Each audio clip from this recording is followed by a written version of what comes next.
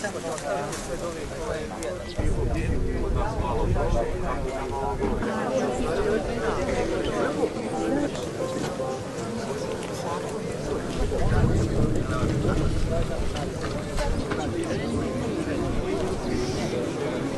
sušu žene obitelji nestali hrvatski branitelji.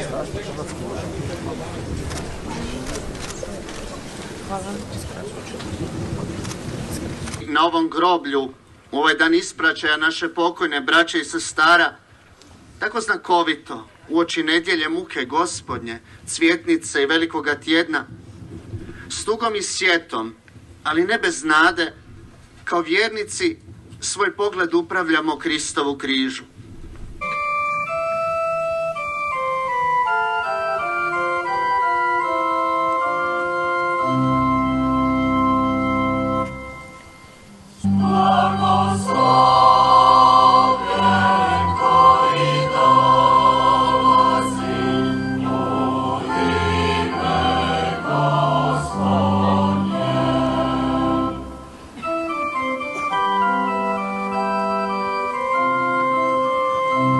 i u krilo Abrahamovo anđeli vas poveli.